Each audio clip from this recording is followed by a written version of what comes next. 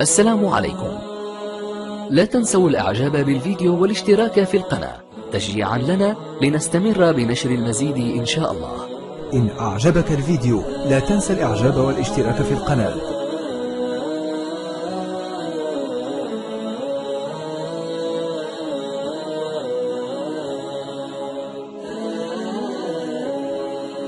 السلام عليكم.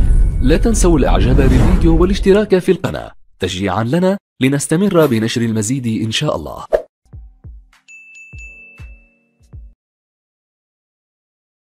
بسم الله الرحمن الرحيم.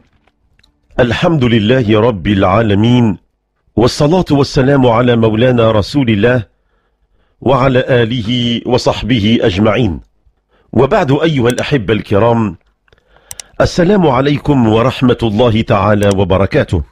حديثنا الليلة احذر اتهام الناس بالباطل من الظواهر التي بتنا نراها في حياتنا اليومية وهو أن بعض الناس يفترون على أبرياء ويفترون على أناس ما هم بمجرمين ويقعون في خطيئة قبل أن يعاقب عليها القانون فإن الرحمن من فوق سبع سماوات يرفضها. وينهى عنها. ربنا عز وجل قال في كتابه العزيز إذ تلقونه بألسنتكم وتقولون بأفواهكم ما ليس لكم به علم وتحسبونه هينا وهو عند الله عظيم. يتكلم ربنا عز وجل عن الافتراء على الأبرياء حينما نلقي الاتهامات الباطلة على أناس ما جنوا شيئا ثم تنتشر هذه الإشاعات وتصبح كأنها حقائق. ربنا سبحانه وتعالى قال وتحسبونه هينا وهو عند الله عظيم. لهذا اعتبر العلماء والفقهاء والمحدثون أن افتراء على الأبرياء جريمة عظيمة وخطيئة منكرة جالبة لغضب الرحمن.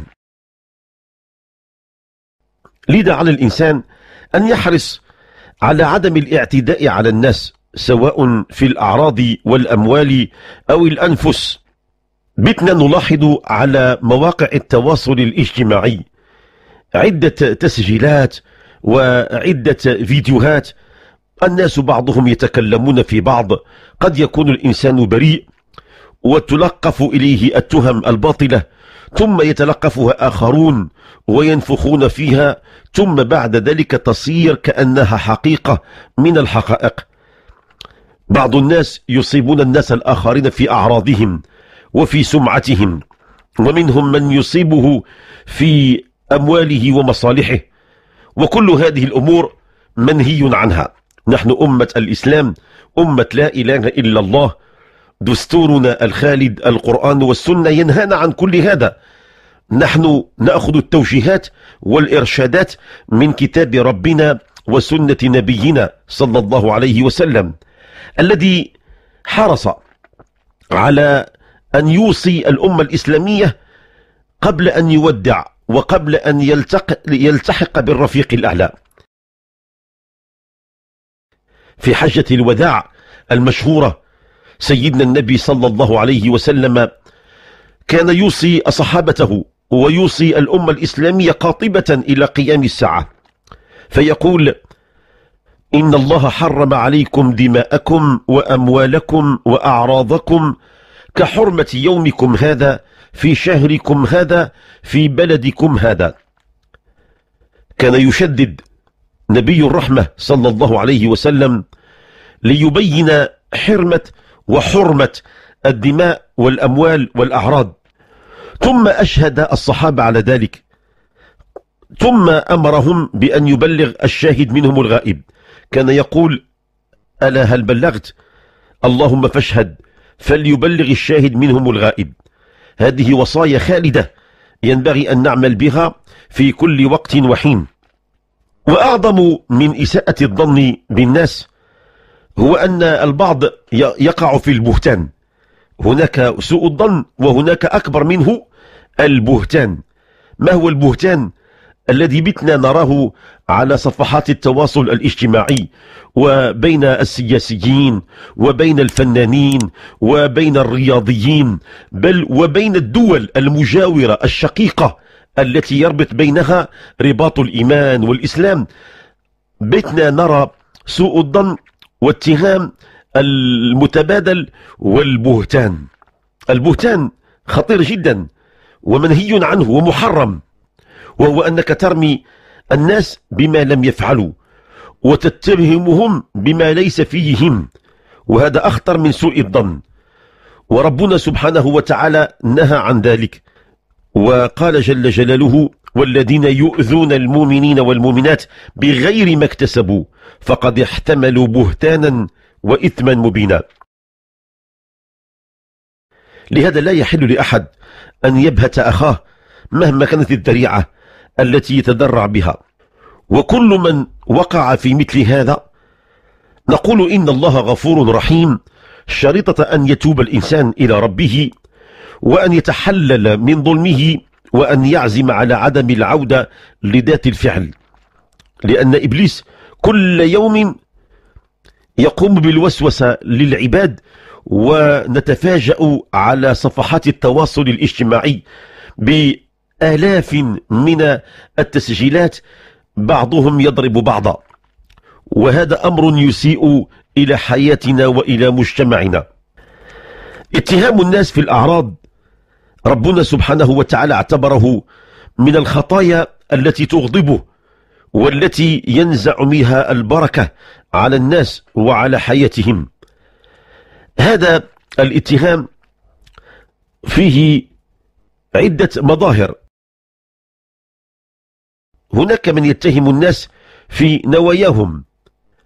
هناك أناس عندهم آه، إما شخصيات عامة وإما أناس لهم صوت في المجتمع وإما لهم أثر أو أيادي بيضاء فمنهم من يتهمهم في النية هل هذا صادق فيما يقول وفيما يفعل أم أن نيته سيئة؟ الأصل أنه لا ينبغي أن نتهم الناس في نواياهم ومقاصدهم لأن ذلك من آفات الأعمال وربنا سبحانه وتعالى نهانا عن ذلك. لأن النيات والقلوب لا يعلم بها إلا بارئها. نحن نحاسب الناس على أفعالهم الواقعة البينة المقصودة. لهذا ربنا سبحانه وتعالى آه، نهانا عن ذلك وقال ولا تقولوا لمن ألقى إليكم السلم لست مؤمنا تبتغون عرض الحياة الدنيا. ببساطة يوقع الناس في اتهام بأنهم غير مؤمنين وغير صادقين وغير وطنيين وغير إنسانيين. النبي الكريم صلى الله عليه وسلم وقع في في حياته أن رأى صحابيين أحدهما يتهم الآخر في نيته فقال إني لم أمر أن أنقب على قلوب الناس ولا أن أشق بطونهم. دعوا الناس وأمرهم. لا لا تفتش وراء الناس. لا تبحث عن قلوبهم ولا تشق بطونهم ولا تتهمهم في نواياهم. لأن هذا ما دام الإنسان لم يفصح عن مراده وعن نيته فالأصل فيه أنه يبقى بريء. ولهذا علينا أن نبتعد عن اتهام الناس في نواياهم لأن في ذلك إساءة كبيرة لهم. هذا ما يقع في الحياة الحزبية وفي الحياة السياسية وفي الشأن العام. نرى ذلك كثير جدا. وأخطر منه ما نراه في عالم النساء. عالم النساء هناك الكثير من الجهات بعضها مع بعض تقوم بالاتهام وتقوم بوضع التهم الباطلة والتكلم في الأعراض. هذا كله مما حرمه الله سبحانه وتعالى.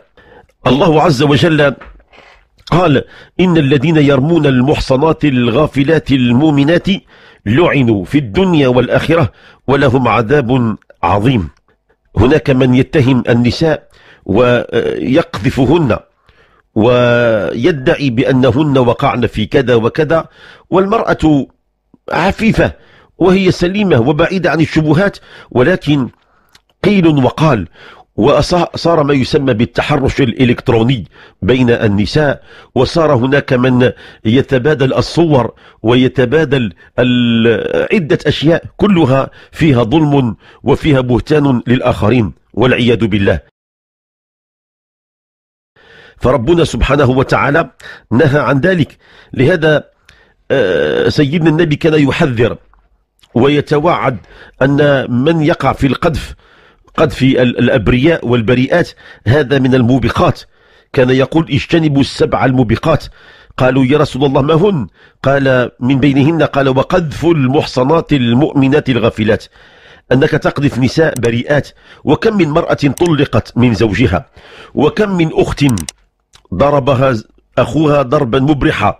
وكم وقع في الإدارات وفي التعاونيات وفي المقاولات ظلم النساء بعضهن لبعض أو ظلم الرجال للنساء.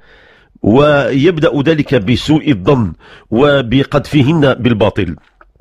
ربما نتساءل ما هي الأسباب التي تجعل بعض الناس يقعون في سوء الظن وفي الافتراء وفي البهتان. ربما قد يكون ذلك أمور كثيرة في حياتنا إذا تأملنا.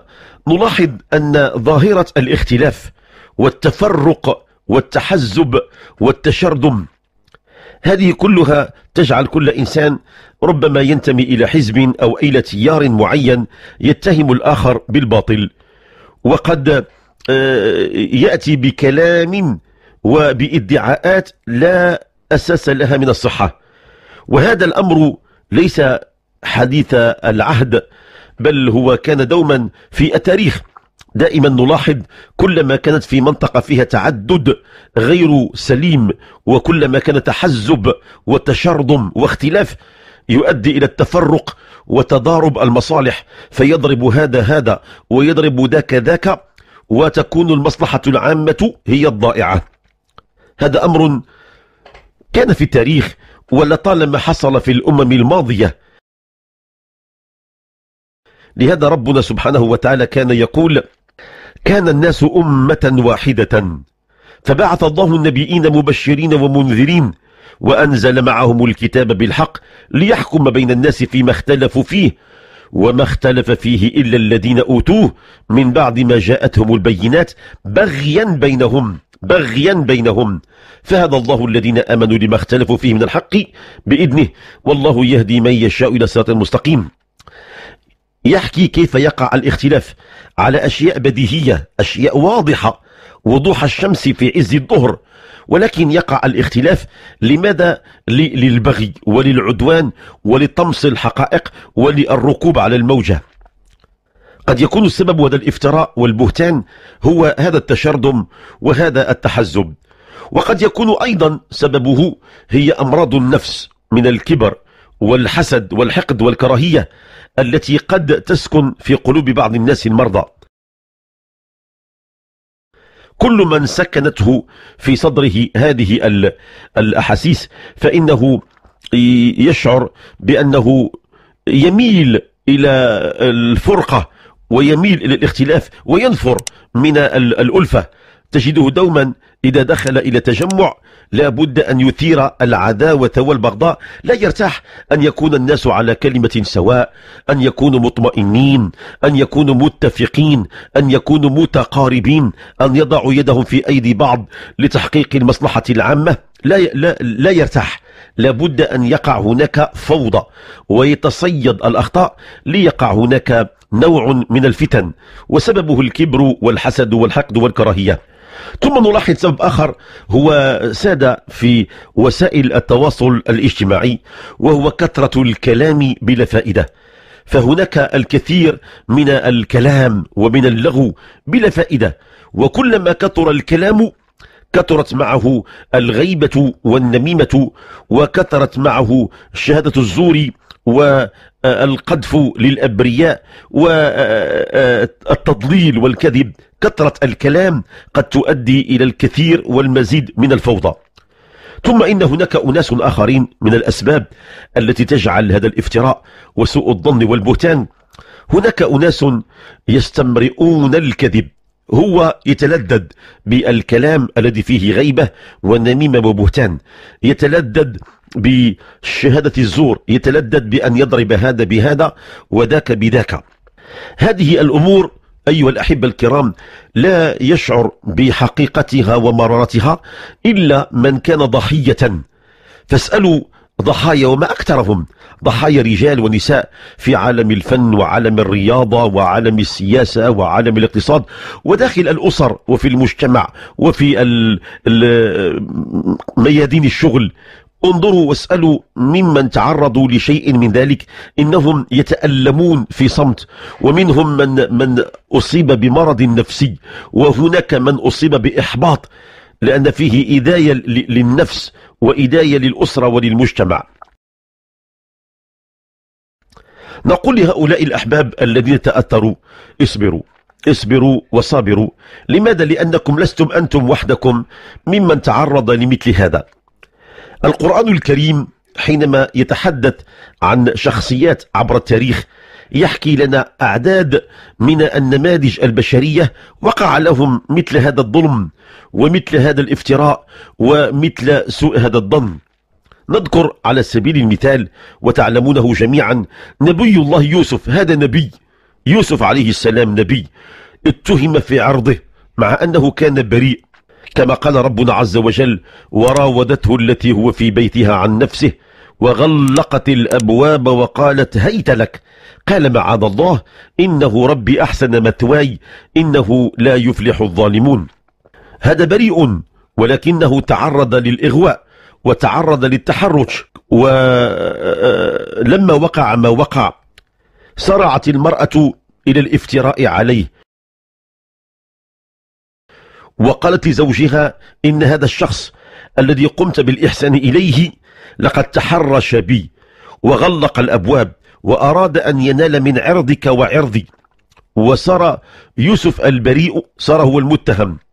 قالت ما جزاء من أراد بأهلك سوءا إلا أن يسجن أو عذاب أليم.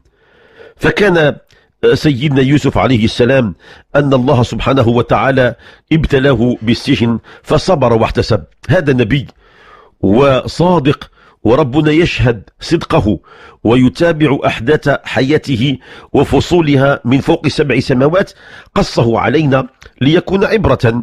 فإذا وقع لك شيء من ذلك أيها الإنسان اعلم بأن هناك من هو خير مني ومنك.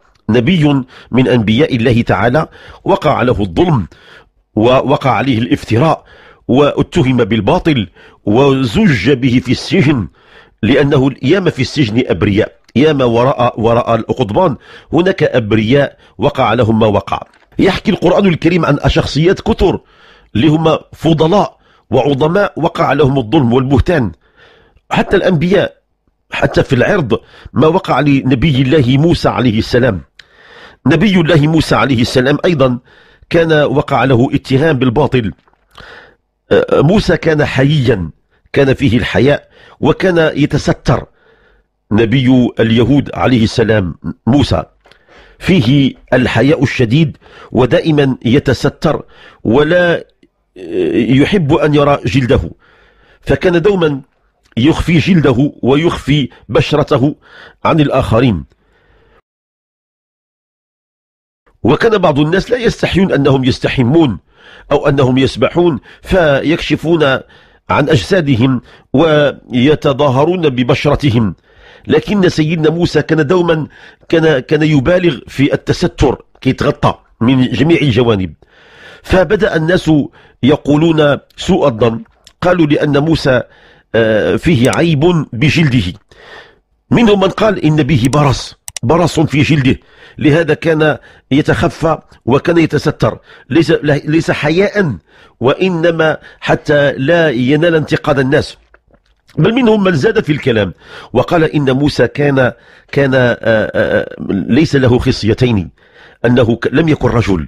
لم يكن عنده القدرة على على على العلاقة الجنسية. لم. بدون خصيتين. وقالوا كلام كثير مثل هذا.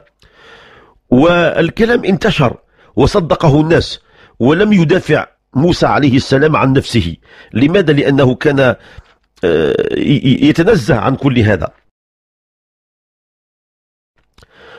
ولما أراد ربك سبحانه وتعالى أن يبرئه أنه يوما ما خلى وحده في مكان أراد أن يغتسل ويستحم فوضع ثيابه على الحجر وصار بعيد عن الناس. وصار عريان يغتسل لا أحد يراه. ولما انتهى من غسله وفرغ أقبل إلى ثيابه ليأخذها. إذا بالريح تجري بثيابه. الريح تأخذ الثياب بعيدا. فموسى أراد أن يأخذ ثيابه وهو عريان. والريح تجري وهو يتبع, يتبع ثيابه حتى انتهى به الأمر إلى مجلس كان فيه جماعة من بني إسرائيل. فرأوه عريانا كما ولدت أمه. فرأوه أحسن مما خلق الله. رأوه وهو سليم من كل عيب. ما فيه لا برص ولا عيب في جلده. حتى رأوا, رأوا, رأوا خصيتيه ورأوا قلمه. وجدوا بأنه إنسان سوي ومبارك.